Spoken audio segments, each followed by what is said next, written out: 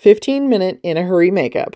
I'm starting out with an eye cream that's by RoC. It's an advanced retinol which visibly reduces dark circles, puffiness, and fine lines. This video is not sponsored, but RoC did send me a bunch of free stuff, so we are going to use it. This is their contour cream for visibly firming the face and neck. One thing that I definitely like about RoC products is that a lot of dermatologists will recommend it, and the products generally do what they say they're going to do. Next, I'm going to apply their Line Smoothing Max Hydration Cream to my face. And it's important to remember that when you're using retinols, you have to wear sunscreen. And the ones I'm using in this video are approved for day and night use. And if you've never used anything like this and you want to get into using some retinols, I recommend buying one thing at a time and testing it on your neck before going any further. Wait 24 hours and then try it in the area that it recommends. Now it's raining and I'm not leaving the house, so I'm not wearing any sunscreen today. I am, however, going to apply a primer to my face to fill in fine lines and pores. This is a new one that I got in my Ipsy bag by Complex Culture called Filter Out. It has a little bit of a blurring base to it and it's hydrating, so that's going to work perfectly for me. I definitely have combination skin, so that means I'm oily in my T-zone generally and then dry everywhere else. Eye primer at my age and the status of my skin is not an option, so I just take a small pea-sized amount and then split it between my eyes. This is only for the eyelid and not for under the eyes. You want to know why? If you put that under your eyes, it's designed to soak up oils on the skin so you can actually dry out your under eye. Now, there are many different ways of doing fast makeup, and this is just one of them. Today I'm using my mini palette by Seint. It basically has a contour color, a lip and cheek color, a base color, and two color correctors. I've started to use this more and more when I'm in a really big hurry because you just slap it all on at one time and then blend it, and it seems to be a huge time saver. Have you ever used a cream to powder foundation before? If you have, then you know how those cream colors just glide right across the skin. And then in a cream to powder, they actually turn to a powdery matte finish. This is not like that. This is that same creamy feeling when it goes on, but it stays a little bit dewy. And I can tell you right now, I've applied way more than what I needed here. I actually could have gotten by with half as much. I think less is more is definitely a good rule of thumb for me for my face. And then if I want to dramatize my look, I'll play up my eyes, my eyebrows, and my lips. My goal is to get my skin to look as natural and smooth as I possibly can. That is best achieved with good skincare first if your skin is too dry, too oily, if it's peeling and you have different kind of problems, it's going to always be more difficult to add makeup to your face. Cream makeup is fun and fast. It's not magical. I think it boils down to what you like on your skin. The cream makeup I'm using today is by Seint. There are three or four other companies that make cream makeup that I'm very interested in trying out. So if you have tried other cream makeup, I would love to hear from you. For me, I don't have an endless makeup budget. I do have to cut myself off at a certain point every month, and so I can't just run out and buy everything. I know you understand.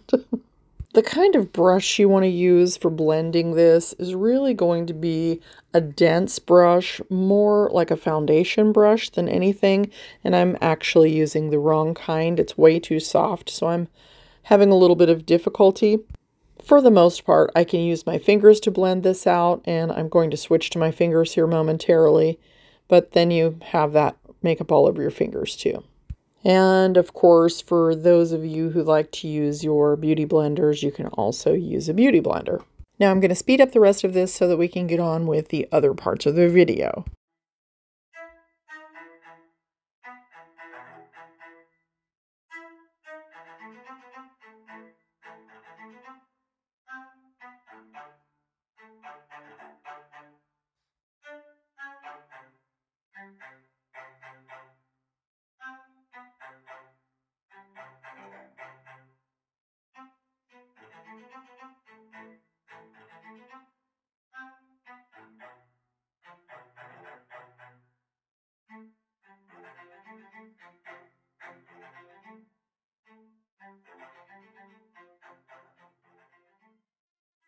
Okay, well, it's all blended out and now I'm back. And I'm just finishing up with that color corrector on the other eye. Again, I'm a little overzealous today and I've used a bit too much. And especially with cream makeup, if you use too much, it's definitely going to crease up. So if you're trying this makeup and it's not working for you, use half as much as whatever you're using. And of course, make sure you're wearing a primer as well. I don't care what kind of makeup it is, after a certain age, too much is going to just be a cakey, creasy mess. Now, I've gotten to where when I'm in a big fat hurry, I like to just go ahead and use a cream shadow just all over my lid, which is what I've done. And then I've just got my e.l.f. No Budge eyeliner and I'm using it and smudging it out to give myself a little bit more definition around my eye. And then I'd like to add a little definition under as well, so I just apply that liner to the brush and that way it goes on nice and softly. It also glides over those little imperfections that I've got under my eye as well. And then I'm adding a little bit more because I felt like I needed a little bit more. And I'm not a big powder person, but I do like my finishing powder. It's different than a setting powder.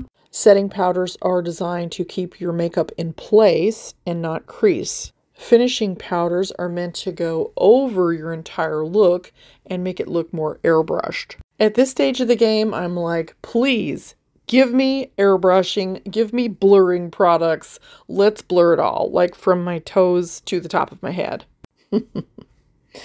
then for a couple of fill-in areas, I'm going to use my Lift and Snatch pen by NYX. This is a great type pen if you just want to add a few individual hair strokes to your eyebrows.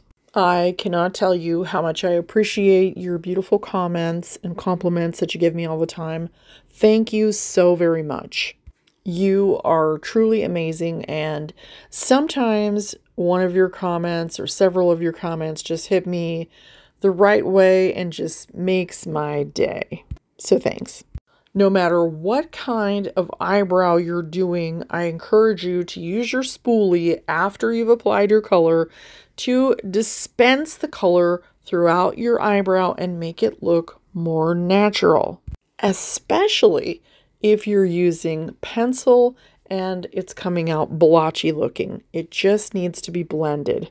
I know nobody ever said you have to blend out your eyebrows, but you do. If you don't blend them out and you have sparse brows, they're probably going to look blotchy and unnatural. The good news is it's a super easy fix. Now, Blinc Cosmetics sent me some more of their products to try, and this one is their Lash Extension Tubing Mascara. Sweatproof, tearproof, steamproof. It's also non-clumping. It's perfect for active lifestyle, sensitive eyes, oily skin, glasses wearers, contact wearers. I put it on and it lasts until I take it off with water, I might add. I know, I don't know how it can be all those things and then you just take it off with water, but you just slick it right off. It's so cool. There's a coupon code in the description along with a list of all the products that I've used during this video if you want to check anything out. And as always, if you have a question about something, I will do my best to help you. And if you're coming back to check out my videos every single day, but you're not subscribed, why? Why? If you're not sure how to find the products that I list in the video, I have started to do something new, and that is that on my newer videos, you can go to the comment section, and in the top comment, I will have it pinned so that you can find the products and also how to follow. As always, I hope you have a blessed and amazing day.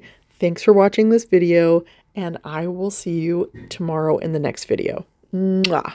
Love and hugs.